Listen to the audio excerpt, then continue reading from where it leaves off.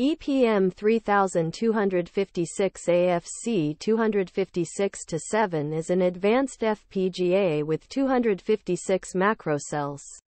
It offers versatile features and high performance, making it suitable for a wide range of applications. Its compact size and low power consumption make it ideal for use in embedded systems and portable devices. It is highly reliable and provides excellent signal integrity.